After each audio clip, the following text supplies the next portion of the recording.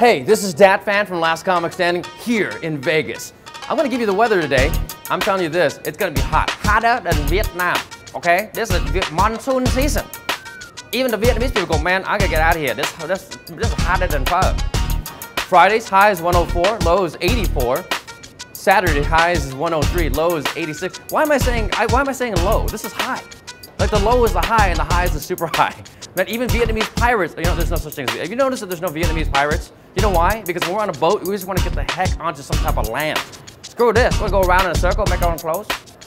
Sundays, highs 107, lows 85.